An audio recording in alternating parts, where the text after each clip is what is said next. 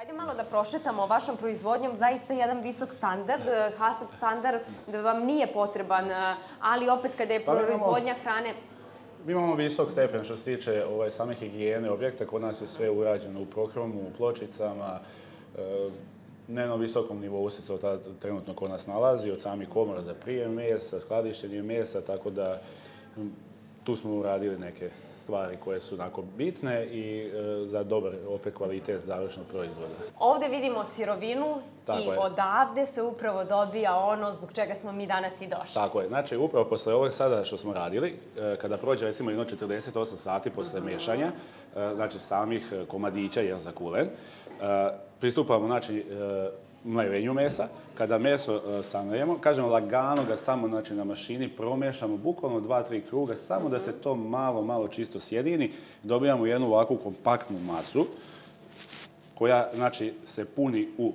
svinska slepa creva, odnosno Vidimo kate. tu i komade mesa, nije to E, baš usitnjeno Tako je, to nije usitnjeno, meljemo, na e, šajbu promera 10.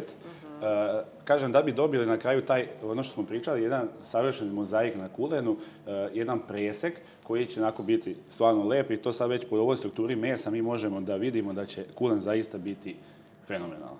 fenomenalan. Dobro, sada to meso, Znači to meso, ide u... tako je, ide u špric, I sada ide onaj najzanimljiviji deo. Tako Čini je. mi se i za mene i za gledaoce. Sada punimo. Sada ćemo danas pristupiti punjenju šprica, odnosno topa, ovim mesom za nadevanje kulena.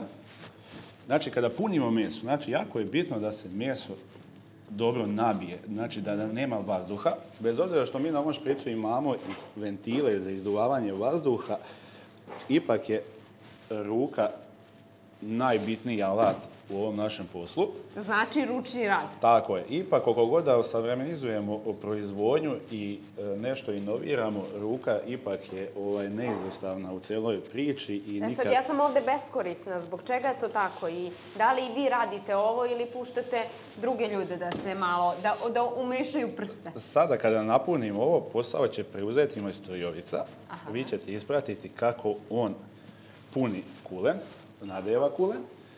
Tako da to će trebati samo još par Pre nego što dođe Jovica, moram da pitam šta se sve nalazi ovde na stolu. Znači, mi vidimo tri kulena. Jedan je onako veći, to nije baš uobičajeno da bude toliko veliki kulen, ali vidimo dva manja, ona su nekako standardna, da li možemo tako reći. Pa znate kako, ovaj, kate su ovaj, različite veličina, prosto nabavka kata ide jako teško, tako da ovaj, što se tiče veličina mi se uklapamo u ono što imamo.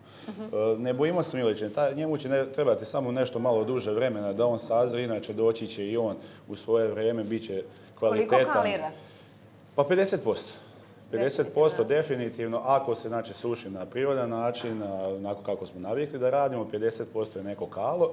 Tako da, zato i kulen jeste jedan od najskupih i najkvalitetnijih proizvoda koje mi proizvodimo. Ja sam rekla, ovo je specijalitet definitivno celog Srema, ne samo Naravno, kulen je- vašeg brenda. Kulen je specijalitet, e, tako, naravno, cijelog Srema, a i svake kuće koja se bavi ovim poslom, nešto što u šta vi treba da uložite najviše truda, kažem opet od onog samog početka do ovog kraja. Da li je on Ovo- izazov za vas? Kulen izazov svake godine. Prvo počevši od vremena, spoljašnje temperature. Recimo imali smo sada zadnjih desetak dana izuzetno veliku vlagu. To vam je, nakon što mi kažemo, smrt za proizvode što se tiče e, s- suhomesnatih proizvoda. Tako da je najbolja neka varijanta kada je neki desetak stepeni e, e, temperatura vazduha i kada je nešto suvlja, suvlja vlažnost vazduha. Znači, toplo vreme i velika vlažnost nikako ne pogoduje ovim proizvodima. Sad krećemo. Samo Sada da mi ćemo- prvo objasnite šta se ovde sve nalazi. Sad, znači, trenutno... U jednoj ovdje- kanti je šta? Tako je. U ovoj jednoj posudi imamo, znači, e, kate. To su, znači, oprane kate spremne za e, punjenje. I imamo goveđa creva. E sad, kad smo već kod kati, moramo da naglasimo i zbog drugih proizvođača, ali i zbog naših gledalaca koliko je to važno da se temeljno operu kate, da sve bude E, apsolutno čisto. Kata mora, znači neizostavni deo je svakako da ona bude izuzetno čista. Čak i kada nabavimo kate od sigurnih e, dobavljača, mi ipak e, to još nekoliko puta operemo. To je naravno ženski Da deo posla. sigurni. Tako je. Znamo, čvarci, kate, Kate, salčići. creva, salčići, to je sve naravno ženski deo posla. Oni to, kažem, još kroz jedno dve, tri vode, da bi prosto bili mi sigurni. Jer svaki, kažem opet, svaki segment te proizvodnje, punjenja proizvo- je jako, jako bitan. Mala greškica dovodi do neuspjeha. Tako da se svemu moramo posvetiti maksimalno i ovaj, to vas dovodi do rezultata. A vazduh i ono što je još poteškoća kod proizvođača, to je da kata vrlo lako može da pukne. Naravno, kata e, morate biti dovoljno spretni pri punjenju. Ne smijete da je ne napunite, a ne smijete opet ni da prepunite jer dolazi do pucanja. Ovo su nešto kate od većih svinja, tako da su nešto otpornije. Mi radimo neku, neku proizvodnju i recimo prasećih kata koji su onako dosta tanje kate, e, sklonije su pucanju. S njima baš, baš onako treba biti jako, jako obrazriv, jako pažljiv, ali kažem sve se to uradi. Radimo mi to godinama, u tom smo poslu, tako da uspevamo mi to sve da uradimo. Ništa. Gde nam je majstor? Majstore, sada možeš preuzeti posao. Ja ću malo i da pomognem, ako je to ikako moguće, ali moram da pitam majstora. Evo, pričali smo sa proizvođačima, ali ipak tu majstor je nekako najveća karika. Koliko je važno da imate toliko iskustva iza vas i šta sada radimo konkretno? Pa sada punimo kulen u, u junećem crevu. Aha, u juneće. Dobro, da li ima neke razlike? Juneće, svinsko? Pa ima zato što je manji fi ovog creva i ovo crevo brže, brže stigne u proizvodnji. I u Dobro. kata, za katu treba malo više vremena, ali podjednako je dobro i jedno i drugo. Ništa, da upalimo našu Evo, mašinu. spremno je sve. Da li je zaista ovo sremačko meso i, i kulen iz srema najpopularniji? Pa definitivno jeste. Kulen je na, u, kulen u kati, jer to zato što to prirodno crevo i na najviše vuče na domaći, jeste. Hoćete vi mene da naučite da ja napunim jednu katu? Hoće što da neće. Zasukaću rukave. To nam je potrebno, je li tako? Da se ne Tako je. Šta nam je još potrebno da bi dobili kvalitetan kulen? Da li dobra volja i dosta ljubavi? I jedno i drugo. I, Bez toga nema da, ništa, ništa. Podjednako je bitno i ljubav i volja. A, koliko kila ima? Pa ova Ova kata ima sigurno jedno... Dva i po dve, kilograma, Dva, tako? dve kile, garant. Dve. E, ja uzimam sad šta? Katu. Katu. da. Morate da me naučite jer ja ne znam ništa. Evo, sad ćemo samo polako. Dobro. Hoćete vi da probate? Ja ću. Slobodno no, ovaj, Stavljam ovako, je je li veliko. tako? Tako je, navlačite na lulu Znači moram do kraja da navučem. do kraja. Slobodno. Evo ga. Samo malo još ovdje. Mhm. Skroz do kraja, da ne bi bilo vazduha. E, Ako bude vazduha, šta je onda problem? problem je zato što ostane proizvod šupalj i ne bude kompaktan, ne bude, na, ne bude kako treba. Ništa, palite pa da vidimo šta će da, da se desi. Jednom rukom držite ovdje i pridržavate crevo, kako se puni polako puštate. Aha. Jo, Neka je, ja ću preuzeti. Malo je ovo, malo je ovo ipak za majstora. Malo je ovo ipak za majstora. jeste. Treba dosta, um, moram slobodno da kažem, iskustva. Treba, treba. Znači, koliko Za meni ovaj treba godina da ja dolazim ovde kod vas da bi naučila? Pa, naredne četiri zime. Znači, četiri zime da bi mi ispala ovako kata, ovako lep kulen. I Pa to re- nije recimo. garancija. I nije, da, nije, nije garancija. Koliko se vi bavite godina ovim poslom? Pa, preko 20 godina. Svaka vama čast, ništa. Ja vas ostavljam, pošto definitivno nisam od nikakve koristi, ali eto mislim da sam vam bare malo unela smeha ovde u vašu radionicu Jeste. u proizvodnju. Hvala Jeste. vam puno. Hvala i vama ništa.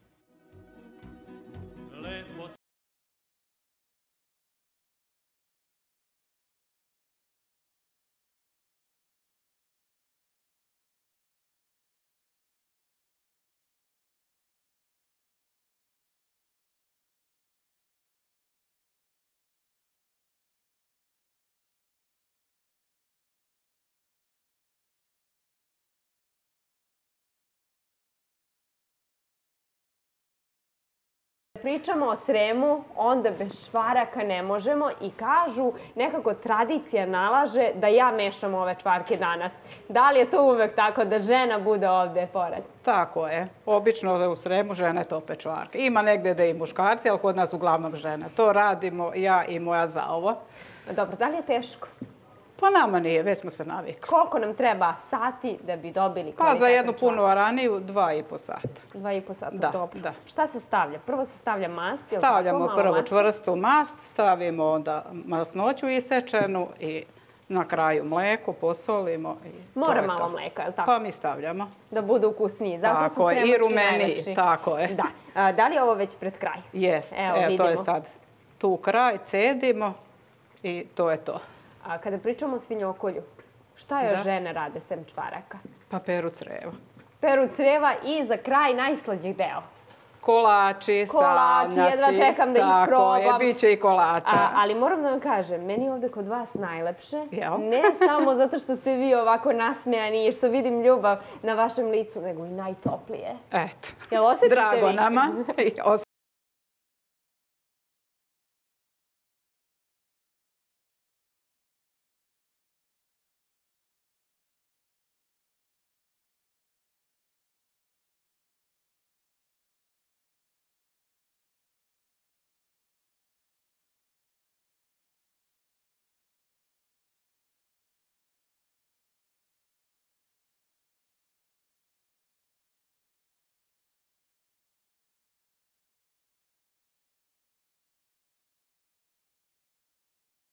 Ovde umetnost je, mogu slobodno da kažem, ali ovo je ekskluziva. Gde se mi nalazimo? Mi se sad trenutno nalazimo u pušnici, znači za dimljanje i odležavanje mesa. Jedan deo je pušnice gdje dimimo meso, zatim iz te prostorije, pušnice, mi prebacujemo u ovaj deo da se suši na svežem čistom vazduhu. Tako je, Jel tako? Na našem fruškogorskom vazduhu i da dobijemo je na pravi Koliko je vazduh presudan za ovakav kvalitet proizvoda? Pa on je najbitniji.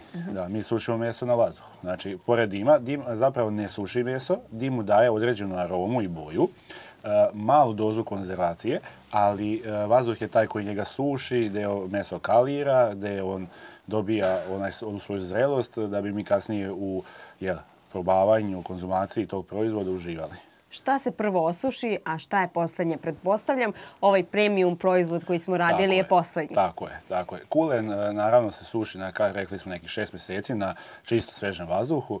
E, Kobasica bude negdje najprije, možda za nekih 30 dana, slanina za nekih 60, vrat, e, na primjer, također za nekih 60, 90, kako koji komad mesa. E, Nema tu onako tačno nekog pravila koliko se šta suši. Prosto sve zavisi od komada do komada mesa, kako koji komad se ponaša na vazduhu, ne dobijaju svi isto vazduha.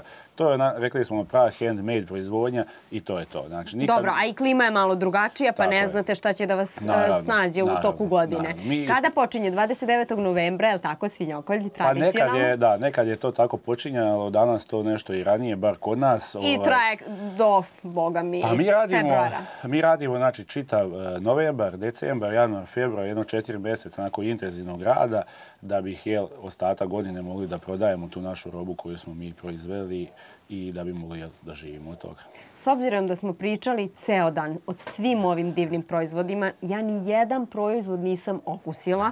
Želim sad da sednemo uz vino, pošto smo u vinskom sremu, Tako da je. probamo sve vaše divne proizvodi i za kraj ono najslađe, a to su definitivno salčići. Može, izvolite.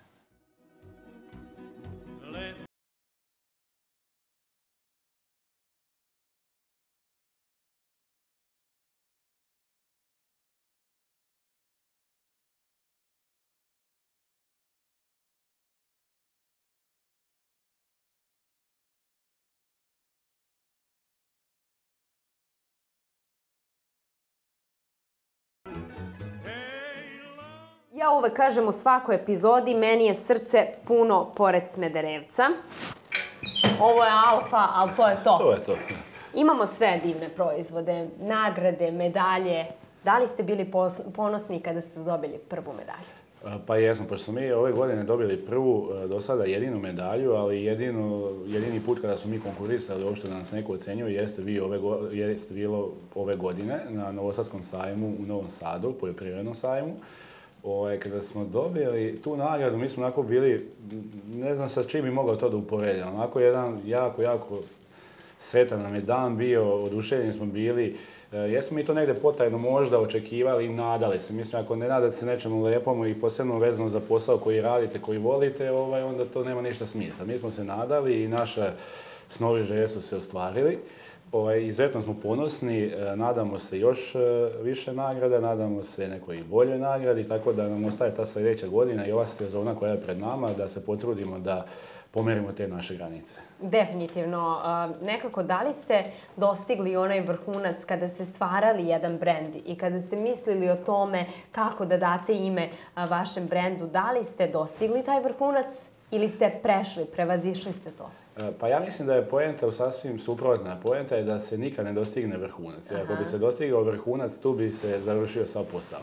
Tako da uvijek treba za, e, e, za znači, onim najvišim stvarima tragati i ići za njima iz godine u godinu i zapravo nikad ih ne dostići jer vas to, je to ono što vas gura i vuče da napredujete. Neko bi rekao uz ove divne proizvode ide dobro rakija. Vi ste meni ponudili i dobru kvalitetnu domaću rakiju, ali ja sam ipak uh, u vinskom sremu, pa sam je. zato izabrala vino. Koje je ovo vino? Ovo je vino e, Vranac, e, naš domaći, do- domaće vino iz Bešenova, tako da nadam se da će vam odgovarati. Znači, sve je ovo brend vašeg kraja. Ovo je apsolutno sve iz naših sela. Pogledajte, dragi gledaoci, ja ne mogu da kažem da sam ja pravila ove kolače, jer nemam toliko iskustva, ali po tradicionalnoj recepturi su napravljene, vidimo, fantastičan džem, opet domaći, Tako je, domaći džem. džem, da, to su kolači, salčići koji, bez kojeg naše klanje ne može da prođe, posebno što je ovaj, danas i nedelja, tako da ovaj, imat ćemo da se zasladimo pored ovih slanih e, specijaliteta, kolači nas neće zabiti sigurno. Neko kaže da su a, ovi proizvodi tradicionalni, da Srbi ne mogu bez ovih proizvoda. Ja bih rekla da pored ovih kolača imamo i bombone od gice. Tako je. Tako se popularno u mom kraju zovu čvarci. Ja bez čvaraka ne krećem, ali ovde imamo još jedan tradicionalan proizvod koji redko gde imamo da, da vidimo. Tako je, to su pihtije, Mhm. ovaj, e, također od naših svinja, kuvane, ovaj, specijalitet, da ko voli, naravno, može da uživa i u tom specijalitetu. Dobro, nekako starija populacija više voli pihtije nego mlađa. Pa dobro, Složite zato što je, naravno, zato što je njima onako e, to privlačnije i približnije, ali ovaj, svakako ko proba, kome se svidi, svakako i naredni put uzima.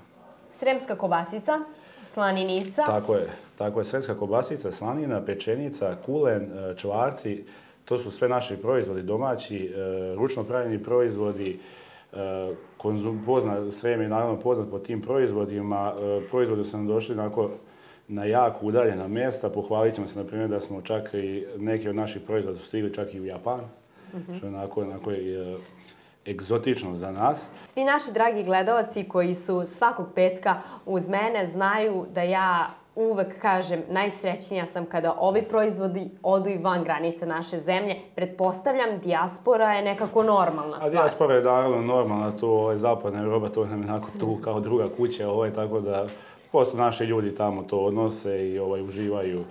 Da li ih uče nostalgija ili prosto kvalitet. Nema ovog tamo. ovaj, nema, tamo toga nema, zaista. I u ovakvom kvalitetu ne. Možda nešto slično, ali isto svakako ne. Ja moram da kažem, to tačnije da te iznenadim, a, pošto sam zagrejala dobro alfu, tačnije smederevac. Ja ovde imam jedan poseban proizvod. Ne znam koliko naši gledaoci vide šta je ovo, ali ovo je kobasica, Kobasica. pa u sve ove divne proizvode ide dobro a, i kobasica. Mislim da sam bila vredna danas i da sam se snašla u vašoj proizvodnji. Pa jest, mi smo Treba mi dosta truda i dosta iskustva. Pa i nama je trebalo. Tako da i trebalo bi vama kad biste želi da se bavite ovim poslom. Ja sam napomenuo da je posao stvarno težak, zahtjevan, ali ko voli ovaj, taj posao može lako da odradi. Samo je bitna ta ljubav i naravno praksa. A što se tiče kobasice, mi ovdje imamo običaj, prva kobasica koja izađe iz eh, topa, ona se odmah stavlja Tu u tepsi, u rernu i ona ide sada na probu da vidimo šta smo radili, ako smo zadovoljni da nastavimo punjenje ili da nešto menjamo. Znači, mi posle ovog obroka imamo još posla. Tako je. Ceo dan. Rekli ste puno ljubavi, puno rada, puno truda. Šta je za vas ljubav prema jednom poslu? Pa ljubav je kada si ti posvećen. E, meri se u satima provedenim na tom poslu. I e, ne morate samo biti fizički prisutni na tom poslu, nego prosto morate biti posvećeni čak i kada e, spavate i u snovima i kada ste negdje odvojeni, kada ste e, opušteni, opet vas uvijek taj posao vraća da razmišljate. Tako da, kažem, bar što se tiče ovog posla koji je izuzetno ozbiljan, nema maksimalnog opuštanja. Apsolutno nikad. Ja moram da vam se zahvalim, pre svega na ovom divnom danu, što ste ugostili moju ekipu i mene, što ste nam preneli svu ovu divnu tradiciju iz vašeg kraja. Mislim da smo i mi na dobar način prikazali našim gledaocima kako izgleda jedan sremački dan, jedna sremačka proizvodnja i naravno kako vi živite. Želite da sačuvate tradiciju, ali opet e, da uvedete neke nove, moderne standarde. U to ime za kraj živeli. Živjeli. Nadam se da ste i vi uživali i ove nedelje sa nama. Sledeće nedelje vidimo se u dobro poznato vreme i na dobro poznatom mestu uz neki novi brend i predeo naše divne domovine. Živeli! Živjeli.